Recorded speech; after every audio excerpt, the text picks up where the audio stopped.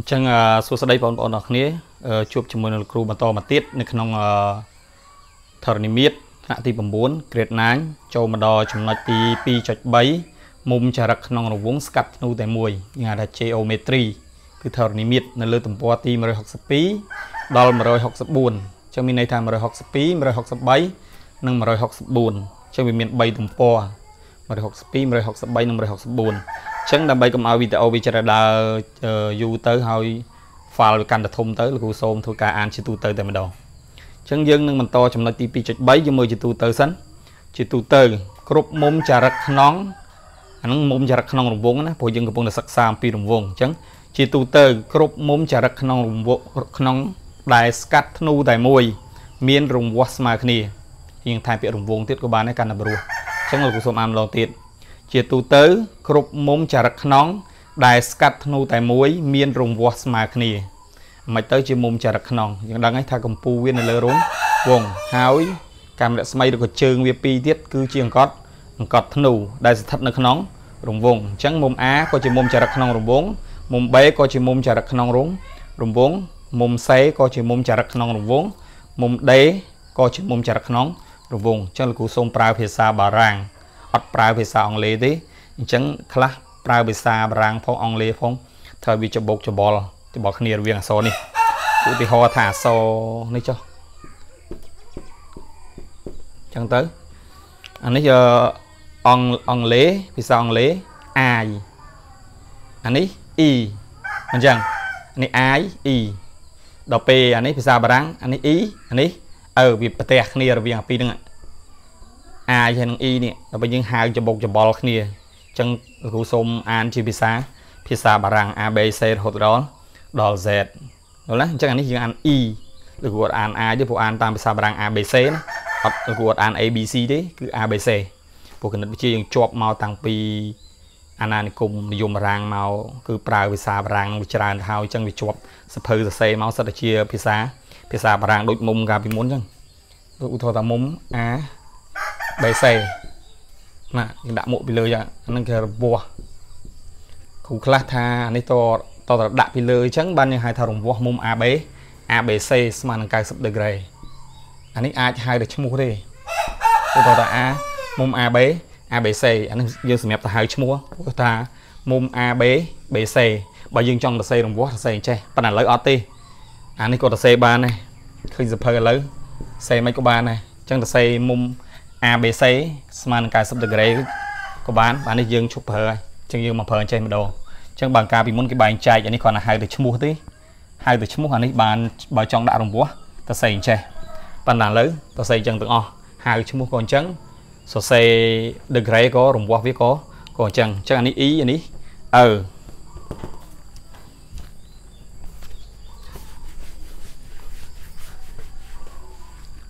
តោះឥឡូវយើងបន្តមក ចូលមកដល់គ្រប់មុំចរិតខ្នងដែលស្កាត់ធ្នូតែមួយមានរង្វាស់ស្មើគ្នាអញ្ចឹងយើងមើលទៅនេះនេះអាមុំ A ហ្នឹងវាឆើមដូចគូនិយាយឆើមមានមាត់នេះស្កាត់ដោយធ្នូនេះស្កាត់ដោយធ្នូឧទាហរណ៍ថាយើងតាំងអក្សរអីក៏បានដែរឥឡូវតូចតូចអញ្ចឹងយើងតាំងអក្សរធំចុះតាំងអក្សរឲ្យហួសដេទៅអឺអើទៅឧសុំដាក់អក្សរក្រហមអើ F អញ្ចឹងមានន័យថាមុំ A នេះមុំ A នេះវាស្កាត់ដោយធ្នូ E F E ធំ F F ធំមានន័យថាមុំ A ស្មើជាមួយមុំ3ព្រួយយើងបានរៀនពីមុនគឺមុំចរិតក្នុងស្មើនឹងកន្លះធ្នូធ្នូស្កាត់ចង់និយាយថាបាននេះ100អានឹង100អញ្ចឹងឧទាហរណ៍ណា100ដឺក្រេអានេះវាស្មើជាមួយនឹង50ព្រោះចែកពី2នោះអានេះក៏50 50ដែរអញ្ចឹងមានន័យថាមុំចរិតក្នុងរង្វង់ស្មើជាមួយនឹងកន្លះធ្នូ ធ្នូស្កាត់អាធ្នូស្កាត់ស្មើ2ដងមុំចរិតក្នុងអញ្ចឹងយក50គុណ2មកចេញ100 50គុណ2ចេញ100 100ចែក2ចេញ50 100ចែក2ចេញចេញ50អាហ្នឹងវាមិនខុសគ្នាអញ្ចឹងមានន័យថាវាច្រាស់ទៅច្រាស់មករវាងមុំចរិតក្នុងហើយនឹងធ្នូធ្នូស្កាត់ហើយមុំដេនេះវាស្មើមួយមុំសេនេះនេះសេស្មើដេគេដាក់យកតែម្ដងមូលហេតុអីឧទាហរណ៍អាខាងលើនេះបានតែប្រមាណឧទាហរណ៍ថាបានចាត់ទេមួយធ្នូហ្នឹងគូ2ព្រោះឧទាហរណ៍ណាក្នុងសភៅវាអត់មានទេ ព្រោះពីតូចចឹងនេះធ្នូធំជាងអញ្ចឹងមានន័យថាមុំសៃនឹងប៉ុន្មានយើងគិតមើលយកចាត់ចែកជា2មកគឺ40 45អ៊ី45 35 35ចឹងមុំដេហ្មងមុំដេក៏30 35ដែរ35ពីរដង7 35ពីរដង7 7ចែកជា2 35 7ចែកជា2 35អញ្ចឹងមុំចរិតក្នុងស្មើនឹងកន្លះធ្នូស្កាត់ហើយអាធ្នូស្កាត់ស្មើនឹងមុំចរិតក្នុងគុណនឹង គុណនឹង2វាច្រាស់ទៅច្រាស់ច្រាស់មកអញ្ចឹង32ដង65ពីរដង10 6បូក10 7យើងតាំងបាច់ស្អីក៏បានតោះមកខាត់ពេកយើងចូលដល់លំហាត់គំរូគេឲ្យអង្កត់ធ្នូ 3D ស្មើនឹង DC នេះអង្កត់ធ្នូមានន័យថាវាអត់កាត់ផ្ចិតយើងធ្វើម៉េចគូសកុំឲ្យកាត់ផ្ចិតកាលណាកាត់ផ្ចិតមានបញ្ហាអញ្ចឹងការគូសរបស់យើងត្រូវគូសធ្វើម៉េចឲ្យត្រឹមត្រូវតាមលក្ខណៈធរណីមាត្រអញ្ចឹងកាលណាអង្កត់ធ្នូគឺធ្នូមិនមែនជាអង្កត់ផ្ចិតទេហាមគូសប៉ះផ្ចិតអូ អញ្ចឹង BD អង្កត់ធ្នូ BD ស្មើនឹង DC BD ស្មើ DC អញ្ចឹងយើងគូសមួយដូចគ្នាតមកទៀតមុំ ABD ស្មើនឹង42ដឺក្រេ ABD 42ដឺក្រេនិងមុំ DBC យើងតាមអក្សរ D BC ស្មើនឹង65ដឺដឺក្រេរូបខាងស្ដាំរូបហ្នឹងឯងអានេះអក្សរ E ណាលោកដាក់ពណ៌ខ្មៅទៅព្រោះកន្លែងប្រសពវាតមកទៀត ចូលកណនីកមុំ BDC លេខចាប់ដើមសួរមានសំណួរ4ក B D C ជាយកអក្សរមកគេសួរមុំអី B តាមវាមក D C នេះមកទៅនេះទៅលេមកទៅនេះអាទៅទីសនេះប្រហែលទី2ខមុំ B A C B A C នេះមកទៅនេះសទៅនេះវិញកែវ មុំ D A B D A 3នេះធំនេះទាញមានមាត់ឡើងទៅលើអញ្ចឹងមុំណាដែលគេចង់សួរវានៅចំអសវានៅចំកដាអញ្ចឹងដោយសារវាបតកលាគ្នាតតែយើងហៅ3 3មិនអាចហៅមួយបានទេកាលណាហៅមួយវាមានបញ្ហាពីព្រោះវាជាប់ A ដូចគ្នាឃើញទេនេះក៏ជាប់ A នេះក៏ជាប់ A អញ្ចឹងយើងហៅ3អសបានត្រឹមត្រូវ3អសប្រាង3អសអង់គ្លេសហ្នឹង curl តោះមុំ D E C មុំ D E C នេះទៅនេះមកសួរទៅនេះមុំ D អឺសេអញ្ចឹងសំណួរមាន4កខកែវខែវអញ្ចឹងលោកគ្រូសូមធ្វើការដោះស្រាយតែម្ដងតែមុនដោះស្រាយលោកគ្រូកុំឲ្យថាទាញយកទាញយកលោកគ្រូសូមបញ្យល់សិននៅក្នុងធរណីមាត្រគេត្រូវសង់រូបកាលណាមានរូបមកអញ្ចឹងស្រាប់អញ្ចឹងមានន័យថាយើងងាយក្នុងការទាញរកចម្លើយកាលណាអត់រូបរៀងពិបាកបន្តិចនៅក្នុងធរណីមាត្រ ហើយក្នុងធរណីមាត្រដូចផែនទីអញ្ចឹងឧទាហរណ៍ថាលោកគ្រូយើងត្រូវយល់សិនរបៀបដើរសិនរកផ្លូវដើរទៅដល់ទីដើរសិនចាំយើងមករៀបវានៅនៅក្នុងអាសម្រាប់បញ្ជាក់នេះឧទាហរណ៍ថាលោកគ្រូចង់ទៅផ្សារមានផ្សារផ្សារដេប៉ូផ្សារដេប៉ូអញ្ចឹងលោកគ្រូអាចជិះពីនឹងទៅទៅឆ្លងកំពង់ដរអរិកស័តកោះពេជ្រលោកគ្រូជិះត្រង់ទៅបុកវាមានឯករាជ្យទៅ ទៅទៀតទៅកោងឡើងតាម stop អឺ អាទឹកអូឡ িম্প ពិកអញ្ចឹងទៅហើយអឺហួសទៅតាមផ្លូវសាណាសានេរុអញ្ចឹងទៅឡើងហួសតែបន្តិចគឺដល់ផ្សារផ្សារដេប៉ូឬក៏លោកគ្រូឡើងអឺទៅពីកំពង់ដរកោះពេជ្រហ្នឹងត្រង់ដូចគ្នាវាមានឯករាជ្យដូចគ្នាប៉ុន្តែទៅដល់ stop ពេទ្យចិនអាខ្ពស់អាគារ42ជាន់ហ្នឹងលោកគ្រូឡើងទៅតាមត្រង់វិញបត់ស្ដាំទៅតាមផ្លូវមនីវងធំហើយចូលបុកតាម stop ទេផនហើយបុកស្ដាំឡើងបន្តិចមកគឺផ្សារដេប៉ូដូច ដូចគ្នាវាទៅប្រសពដូចគ្នាអញ្ចឹងយើងអាចទៅតាមផ្លូវណាមួយដែលកាត់ក៏បានផ្លូវវែងឆ្ងាយក៏បានប៉ុន្តែវាទៅដល់គោលដៅដែរតែមួយប៉ុន្តែពេលខ្លះផ្លូវធំពេលខ្លះផ្លូវផ្លូវតូចអញ្ចឹងពេលខ្លះផ្លូវឆ្ងាយពេលខ្លះផ្លូវផ្លូវចិត្តអាស្រ័យលើការកណនីរបស់យើងអញ្ចឹងយើងចាប់ផ្ដើមដោះស្រាយតែម្ដងមកខាត់ពេតោះលោកគ្រូសូមពុះពុះឆ្ពីមកទៅអត់គ្រាន់វាមានហត់ដល់ curl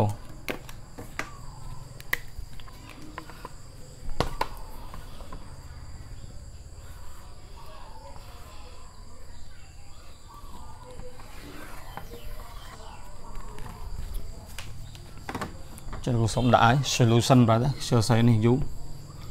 ដំណោះស្រាយតែត្រូវដាក់ថាសម្រាយបញ្ជាក់ក្នុងធននេះច្រើនសម្រាយបញ្ជាក់ជាង solution តោះចឹងយើងមើលចំណុចកគេសួរកណនីអីនេះចឹងកណនីមុំនេះអានតែមុំមុំ BDC ក កណនី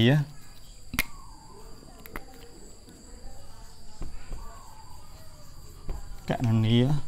មុំបេដេដេសេដែលលោកគ្រូនិយាយកណនីមុំបេដេសេលោកគ្រូសូមអានជាភាសាបារាំងអត់ BDC ណាបេដេសេអញ្ចឹងបេដេសេអញ្ចឹងទាំងអស់គ្នាត្រូវតាមដែលលោកគ្រូនិយាយអញ្ចឹងហើផ្លូវដើរឲ្យឃើញសិនចាំយកទៅទៅសេអញ្ចឹងយើងមើលត្រីកោនេះសមត្ថកម្មគេឲ្យមកសំខាន់ complete សមត្ថកម្មគឺអ្វីដែលគេឲ្យប្រធានឲ្យមកហ្នឹង 3D ស្មើ DC អញ្ចឹង 3D នេះគឺជ្រុង 3D ស្មើជាមួយ DC អញ្ចឹងនាំមកត្រីកោណ 3DC ជាត្រីកោណស័កសមបាទអញ្ចឹងជ្រុង2ស្មើគ្នាអញ្ចឹងមុំបាទយើងដឹងអានេះគឺ65ដែរនេះមុំ BCD ស្មើជាមួយនឹង6 65ប៉ុន្តែគេសួរសួរ BD BDC BDC BDC គេមកនេះនេះ BDC គេមកលើប៉ុន្តែយើងអាចប្រើតាមផលបូកមុំក្នុងត្រីកោណគឺ 65បូកអានេះអាក្រហមរបស់វាហ្នឹងបូកជាមួយអាហ្នឹងមកបូកជាមួយនឹងមុំដែលគេសួរហ្នឹង BDC គឺស្មើនឹង100 108យក108ដកអាពីរនឹងចេញមក65បូក65វា120 130ដក130ចេញមកយើងគិតតែមាត់ទៅទីក៏ឃើញដែរ108ដក130ចេញគឺឃើញ50 50ដឺក្រេពីព្រោះអានេះ65អានេះក៏65 6បូក65បូក65វា130 108ដក130វាស្មើជាមួយនឹង50 50យើងឲ្យឃើញអញ្ចឹងយើងដាក់សរុបមកដោយនោះដោយសំលុបតិចតំណងស្ទូនដោយដោយ BD BD ចេះ CDB មួយណាក៏បានដែរបន្សេតាមប្រធាន BD ស្មើជាមួយនឹង DC យើងបើកវងចកមកសមត្ថសមត្ថកម្មអញ្ចឹងសមត្ថកម្មគឺជាអ្វីដែលប្រធានឲ្យមកយើងហៅថាសមត្ថសមត្ថកម្មចាំកាលណាមានជ្រុង2ស្មើគ្នាត្រីកោណមួយមានជ្រុង2ស្មើគ្នា វាគឺជាត្រីកោណស័កសមបាទនោះត្រីកោណអឺ D BC D BC ជាត្រីកោណជាត្រីកោណសមបាទសមបាទប្រហែលមកថាបាទស្មើបាទស្មើគ្នាកាលណាបាទស្មើគ្នានាំឲ្យមុំបាទវាស្មើស្មើគ្នាអញ្ចឹងមុំបាទអានេះ65នេះក៏65អញ្ចឹងបានអីមុំ D BC មុំ D BC ទៅស្មើនេះគេឲ្យស្រេចមកស្រាប់គឺ D BC បូកជាមួយនឹងមុំ D CB ស្មើអត់ស្មើស្មើនឹងមុំ D C CB ស្មើជាមួយប្រហែលទៅស្មើនឹង65ដឺ65ដឺក្រេចឹងអ្វីដែលគេសួរគេមិនបានសួរ65នេះទេណាតែយើងឲ្យឃើញមកអានឹងគឺ65ដឺក្រេចានេះគឺ60 65ដឺ ដឺក្រេអញ្ចឹងយើងប្រើផលបូកមុំក្នុងត្រីកោណមានន័យថាមុំទាំង3ហ្នឹងបូកបញ្ចូលគ្នានេះអាត្រីកោណ DBC ត្រីកោណសម្បបាទហ្នឹងគឺផលបូកមុំក្នុងវាស្មើជាមួយនឹង100 108អញ្ចឹងយើងយកមុំ65បូក65បូកនឹងមុំ D ស្មើជាមួយនឹង100 108ហើយហើយមុំដាក់សរុបទាំងអស់ទៅមុំ DBC ប៉ិនអឺយើងយកអានឹងដាក់មុខទៅ សំណួរកនេះមុំ BDC បេ DC បូកមុំហ្នឹងបូកជាមួយនឹងមុំ DBC អាមួយ BDC អាមួយ DBC កុំច្រឡំគ្នា DBC បូកនេះទៀត DCB DCB សុំបន្តតិច ស្មើនឹង180ដឺ degree នេះសុំកោងនេះ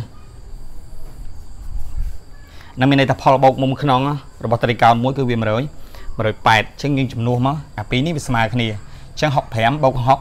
65អញ្ចឹងយើងចំនួនមក65 degree បូកនឹង65 degree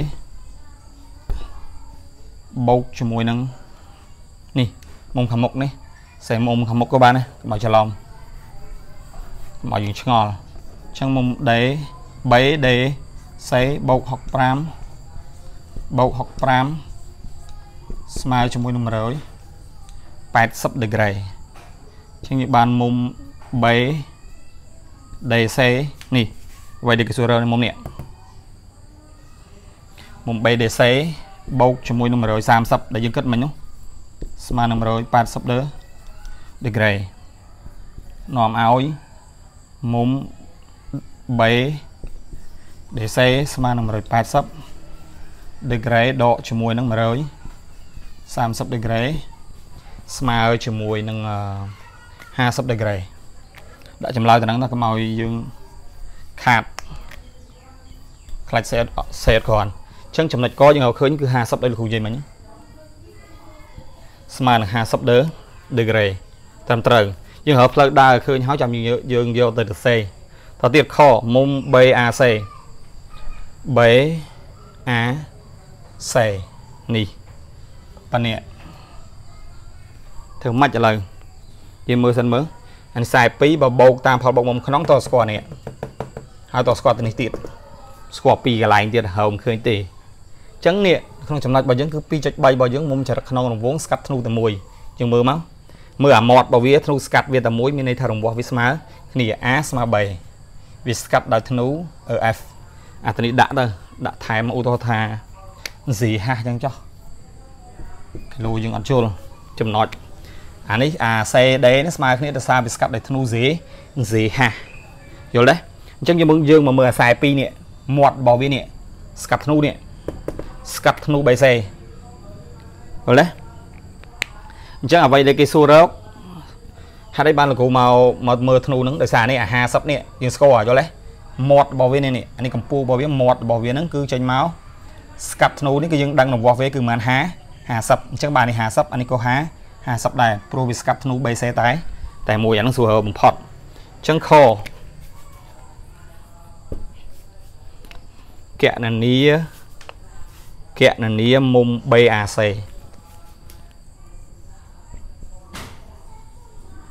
កណនីមុំ B AC អញ្ចឹងមុំ B AC អញ្ចឹងតាមពិតយើងទៅឆ្លើយដូចនេះទៀតទៅណាប៉ុន្តែដោយសារក្តារខៀននឹងវាតម្រូវជាមួយនឹងប្រធានលំហាត់អញ្ចឹងលោកគ្រូធ្វើមិនតម្រូវជាមួយប្រធានលំហាត់តោះ B AC B AC អានេះ50អានេះឃើញមិនអានឹងអូតូម៉ាទិកគឺយើងដឹងចូលក្នុងទ្រឹស្ដីបត់របស់យើង50ដែរនេះវាស្កាត់ធ្នូតែមួយឃើញទេទាញទៅមាត់វា BC ហើយទាញមកមាត់វាក៏ B BC ជាងគេដាក់យកតែម្ដងមកមុំ B AC ស្មើហ្នឹងស្មើកហ្នឹងលំហាត់កហ្នឹងស្មើនឹងមុំ BDC BDC ស្មើប៉ុន្មាន50ដឺក្រេបើកវងកញ្ចក់ប្រាប់គេតិចទៅមុំចរិតក្នុង មុំចរិតតទៅចរិតក្នុងទៀតណាមុំចរិតក្នុងគឺចរិតក្នុងរង្វង់ហ្នឹងមុំចរិតក្នុងស្កាត់ធ្នូស្កាត់ធ្នូស្កាត់ធ្នូអីគេដល់គ្នាមើលនេះវាស្កាត់ធ្នូអី BC នេះដាក់មកស្កាត់ធ្នូ BC តែមួយស្កាត់ធ្នូ BC តែ តែមួយហល់ណាមានន័យថាវាស្មើធ្នូចែកជា2បើសិនណានេះ50និង100 100ចែកជា2មិន50ចឹងក៏ក៏50ដូចគ្នាចឹងលោកសុំលុបអានេះចោលក៏បានដែរប៉ិនមិនបាច់លុបទេតោះបន្តមកទៀតមើលទៅវារៀងស្អីស្កាសប៉ុន្តែมันពិបាកទេតាមពិតធរណីមៀតវាងាយដែរទេអញ្ចឹងមករកកែវមុំ DAB គណនាកែវ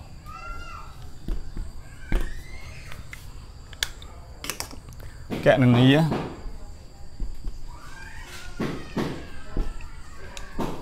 កណនីមុំ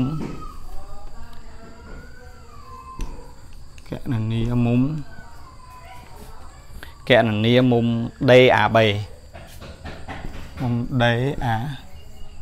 DAB កណនីមុំ DAB តោះមហៅផ្លូវដើរសិនកណនីមុំ DAB ឲ្យសត D សិនមក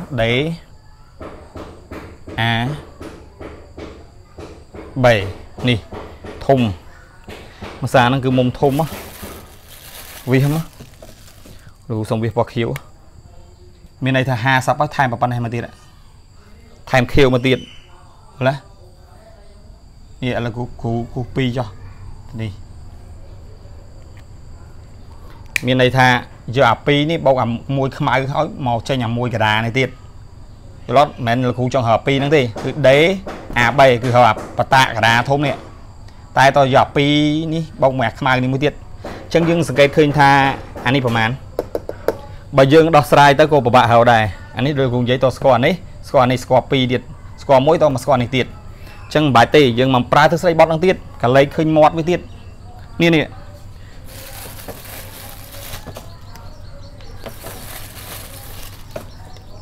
តោះ តនេះអាធ្នូសេដេនេះនេះឃើញមាត់វាដែរមានន័យថាមុំគ្រូចុងគូ2មិញមុំពណ៌ Q2 ហ្នឹងគឺស្កាត់ដោយធ្នូសេសេដេហើយអាសេដេសេមុំសេ3ដេនេះក៏មាត់វាស្កាត់ដោយធ្នូសេសេដេដែរនេះ60ម៉ាន65ចានេះក៏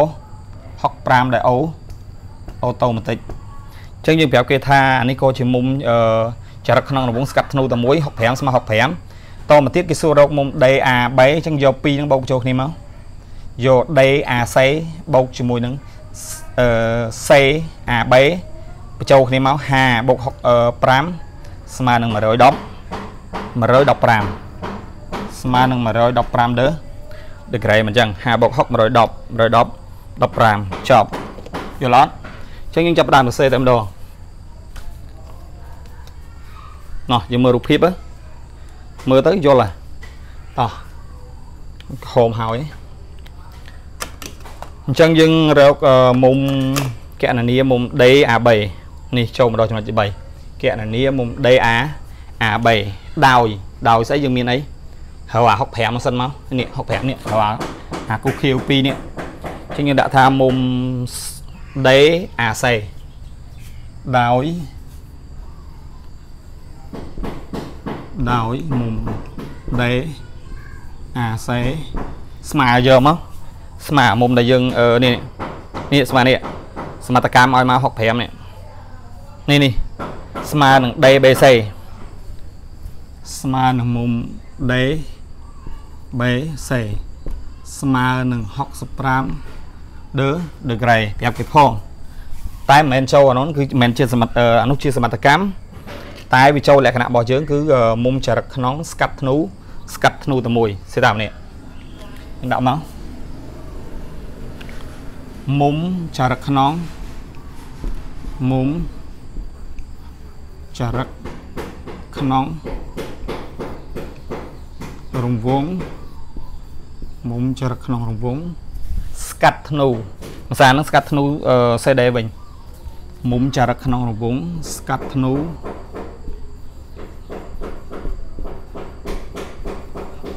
អឺគូសុំដាក់ពណ៌ក្រហមទៅ CD តែមួយកាលណាវាស្កាត់ធ្នូតែមួយគឺវាមានរង្វាស់ស្មើស្មើគ្នាអញ្ចឹងនៅក្នុងថតនិមិត្តដោយលោកគ្រូនិយាយអញ្ចឹងតើតែយើងចេះមើលដូចមើលផែនទីអញ្ចឹងហើផ្លូវដើរឃើញទៅដល់កន្លែងគោលដៅរបស់យើងហើយចាប់ចាំយើងចាប់ដើមសរសេរហើយសរសេរទៅផ្អែកទៅលើទ្រឹស្ដីទ្រឹស្ដីបត់ដែលយើងចេះទាំងប្រមាណគឺយកមកប្រើទាំងអស់ នៅក្នុងធរនិមិត្តរបស់យើងនឹងលក្ខណៈនៅក្នុងរង្វង់ទ្រឹស្ដីបត់ Pythagore ទ្រឹស្ដីបត់តលេសបន្ទាត់ពីស្របគ្នាកាត់ទៅខ្នាត់មួយមុំមានជ្រុងត្រូវកាយរៀងគ្នាមុំទល់កពូមុំអីហ្នឹងមុំឆ្លាស់ខ្នងអីយើងត្រូវចេះលក្ខណៈរបស់របស់វាទាំងអស់មុំឈើមចាក់តកោនចរិតក្នុងរង្វង់តែឥឡូវយើងអត់តប្រើដល់យើងអត់តរៀនទេប៉ុន្តែលោកគ្រូចង់និយាយថាយើងត្រូវចេះទ្រឹស្ដីបត់ទាំងអស់យើងនេះសុំសេឲ្យត្រូវជួតិចយើងលូតខុសជួយើងវាច solution ចឹងចុះអញ្ចឹងយើងបាន65អញ្ចឹងអានេះយើងបានប៉ុន្មាន50គឺយើងស្គាល់ហើយគឺស្គាល់តាំងពីលំហាត់នេះខ 3AC នេះសមត្ថកម្មនេះមានន័យថាបោកយកតែម្ដងអញ្ចឹងយើងដាក់ថាមុំ B នេះ DAB DAB មុំ D AB ស្មើជាមួយនឹងមុំដែលយើងសួរក្នុងខហ្នឹងគឺ BAC មុំ B AC បូកនឹងអាយើងហៅឆ្លើយមិញគឺមុំ D AC មុំ DA មុំដេអាសេយើងមើលមើលដូចលោកគ្រូនិយាយអញ្ចឹងអាខៀវកដានឹងមួយគឺស្មើនឹងអាខៀវ2បូកជាមួយនឹងខ្មៅមានន័យថាប្រវែង DAC ហ្នឹងស្មើនឹងអានេះ DAC បូកជាមួយនឹង BA BAC យើងចំនួនចូលមកអា BAC BAC គឺស្មើជាមួយនឹង50 50អានេះចំនួនដោយ60 65អញ្ចឹងយើងបានមក D AB ស្មើនឹង50ដឺក្រេកុំភ្លេច40ដឺក្រេបូកជាមួយនឹង65ដឺអ៊ីចង់3 650លឿនពេកស្មើជាមួយនឹង115ដឺដឺក្រេតែបងប្អូនគ្នាត្រូវឆ្លើយដូចនេះផងតែដោយសារក្តារខៀនខ្លីលោកគ្រូតម្រូវជាមួយនឹងប្រធានលោកគ្រូនិយាយតម្រូវជាមួយក្តារខៀនកាត់ជើងតម្រូវស្បែកជើងមិន មែនកាត់ស្បែកជើងតម្រូវជើងទេកាត់ជើងតម្រូវស្បែកជើងឯពេលហ្នឹងតោះតមកទៀតគឺខោកណនីមុំដីអឺសេកណនីមុំដីអឺសេតាណាដីអឺសេដីនេះខ្មៅទូចពេកមើលលេងចង់ឃើញហាមគូសកាត់ផ្ចិតអូដោយលោកគ្រូនិយាយកណនីមុំដេអឺសេមានន័យថាមកសួរទៅនេះវិញគួរធំតិចទៅនេះ ចំត្រឹងមកនៅហៅតាណាខ្ញុំមើលមើលរកតាមវិធីណាអញ្ចឹងអានេះ5គឺត្រូវតែស្គាល់ទៅនេះអានេះមកអត់មានអាណាមកទល់មួយវាអានេះយើងហៅ42អាចឃើញ42អញ្ចឹងអឺកណនីមុំដេអឺសេដេអឺសេអញ្ចឹងយើងអាចរកឃើញបានហៅអានេះមក យើងអាចនិយាយត្រីកោណដេអឺដេអឺសេក៏បានដែរក្នុងត្រីកោណដេអឺសេហ្នឹងมันអានេះมัน5มันស្គាល់អញ្ចឹងអានេះវាប្រហែល42អានេះมันជំនួសដោយ50ទាំងអស់65ប៉ុន្តែប្រព័ន្ធនេះគឺ50 50ហេតុអីពីព្រោះប្រព័ន្ធនេះវា42វាស្កាត់ធ្នូអាដីដូចគ្នាយល់អត់អានេះ42អានេះក៏42ដែរដូចគ្រូនិយាយអញ្ចឹងហើយផ្លូវដើរសិនចានេះ42អានេះ50 អញ្ចឹង42បូក50វាប្រហែល92យក108ដក92មកគិតមកទេមកវានឹងឃើញមុំនេះឯងអឺ108ដក92ខ្ចីមកអឺស8 17ដក9នៅស8 8បូក9គឺ10 17ស្មើនឹង88ដឺដឺក្រេឃើញបាត់ទេជាងចម្លើយរបស់វាគឺឃើញហើយ ដាក់ពណ៌ខ្មៅម្ដងអ្នកខ្លះថាវិលមុខហ្នឹង88ដឺដឺក្រេតាមពិតมันពិបាកទេគឺឃើញបាត់ហើយ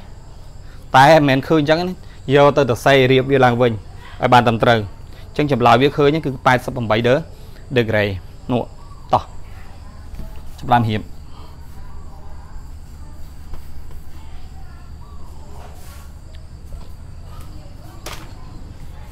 ខោកណនី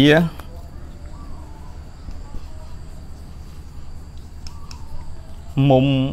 ដេអឺសេដូចគូនិយាយនិយាយជាភាសាបារាំងកណនីមុំដេអឺសេដេអឺសេធ្វើតាមទីសាស្ត្ររបស់គ្រូមិញមកហើយមុំនេះឃើញសិនមុំ ACD ស្មើហើយយើងនិយាយស្កាត់ធ្នូទៅមួយប្រើទស្សន័យបត់របស់យើងនៅក្នុងចំណុចទី2.3តែម្ដង មុំអឺ AC នេះនេះអឺដោយត្រីកោណសិនដោយដោយត្រីកោណអឺអឺដេអឺសេសេអឺដេក៏បានដែរសេដេអឺ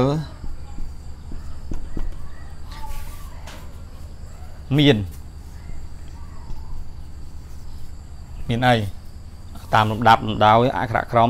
មួយណាមុនក៏បានដែរជាងចង់ដាក់អឺអឺដេសេក៏បានសេដេអឺក៏បានដាក់អឺដេសេក៏បានអឺដេសេអឺដេសេអាអាទិសនីកម្ពុជាដាក់អឺដេសេព្រោះអឺដេសេមានចាំមកអេលិចត្រិកតោះអឺដេសេចឹងមុំនឹងវាជាប់គ្នា មានបន្តត្រួតស៊ីគ្នា ចឹងយើងហៅ AC D ក៏បានអឺ C D ក៏បានព្រោះវាជារង្វាស់តែរង្វាស់តែមួយវានៅលើបន្ទាត់នឹងតែអង្កត់នឹងតែមួយតោះមានមុំអីមុំ A មុំ A B D ហើយយើងយើងនិយាយតែមុំរបស់យើងបានហើយមុំ E C D មុំ E C D ស្មើប្រហែលទៅមុំ អើតែពិតមុំអើ CD ហើយមុំ A CD វាតែមួយយល់អត់ព្រោះវាត្រួតស៊ីគ្នាអញ្ចឹងមុំអើ CD អឺស្មើជាមួយប៉ុន្មានស្មើនេះស្មើនឹងមុំ ABD នេះគេឲ្យមក ABD ស្មើនឹងមុំ ABD ស្មើប្រហែល42ចឹងហើយ42ដឺក្រេមុំចរិតខ្នងទៀតហើយ មុំចរិតខ្នងកាលណានៅក្នុងចំណុចណាគេសិក្សាទៅលើអាប្រធានបទហ្នឹងហើយគេមិនដែលទៅចាក់ប្រធានទេមុំចរិតខ្នង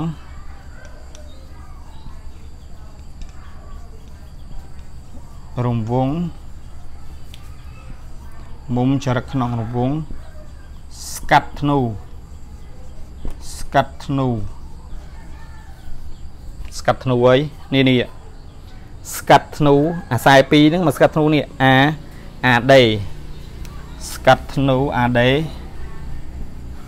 តែមួយសេលេខក៏បានដែរហ្នឹងស្កាត់ធ្នូអាដេតែតែមួយនេះនេះមាត់វាខ្សែ2មាត់អានេះក៏ខ្សែខ្សែ2ចែកជាពីអញ្ចឹងអឺនាំឲ្យយើងហើ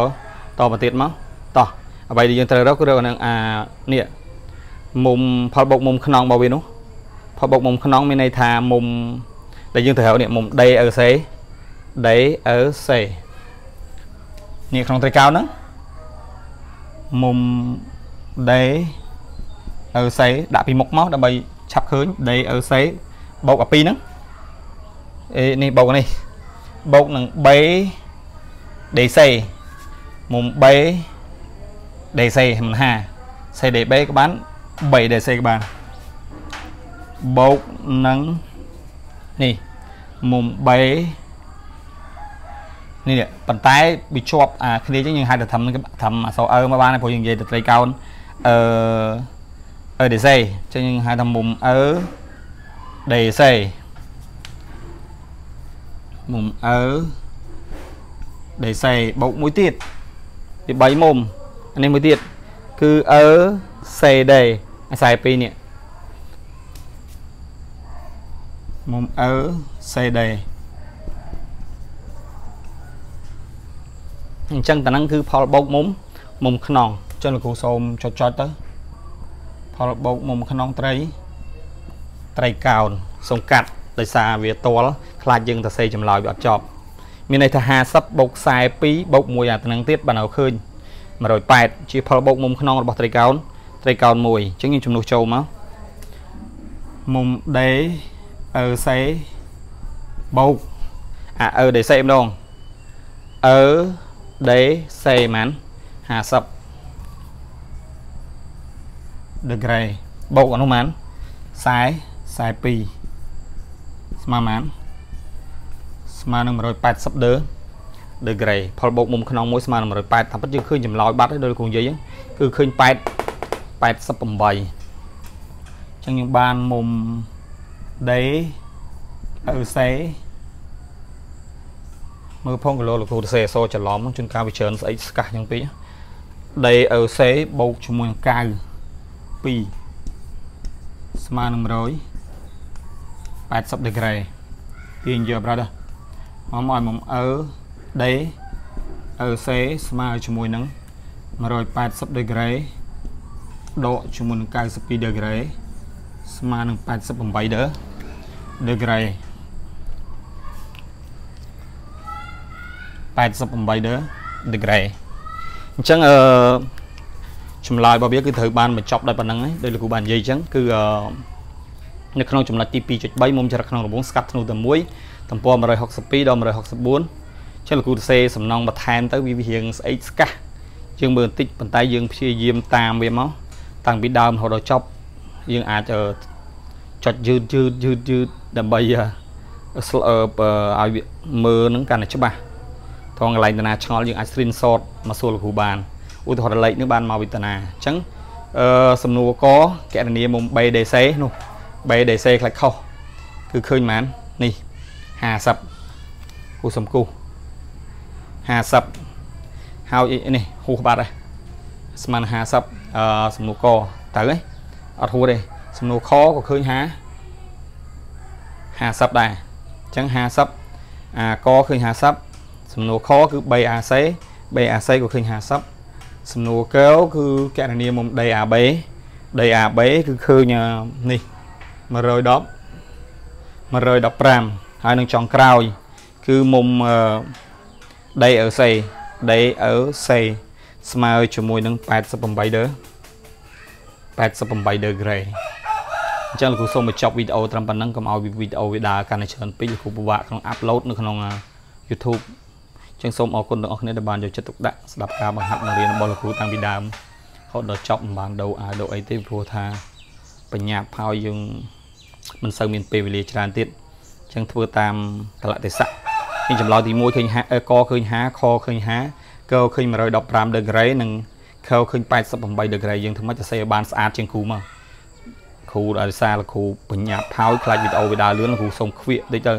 ហើយក៏អាចនិយាយយើងលឿនយើងស្ដាប់មិនតាន់អីអាចសាកសួរលោកគ្រូម្ដងទៀតឬក៏លោកគ្រូទៅសេមុំអីជន់គ្នាអីភ្លេចសញ្ញាណាមួយអីសូមបងប្អូនខន្តីអភ័យទោសនឹងទស្សនិកជនទាំងអស់ដែលបានមើល YouTube វីដេអូហ្នឹងសូមខន្តីអភ័យទោសផងដោយសារមើលទៅវាស្អិចស្កះដែរទាំងទឹក ភ្នែករបស់ខ្លួនឯងហ្នឹងក៏មើលទៅចង់ចង់វិលមុខដែរវាមិនពិបាកទេប៉ុន្តែវាអេស្កាស់ពេកធ្វើយើងមានការវិលមុខអញ្ចឹងយើងមើលតាមលំដាប់ដោយបន្តិចម្ដងបន្តិចម្ដងឲ្យតែមានការព្យាយាមគង់បានសម្រាប់សូមអរគុណសូមជម្រាបលា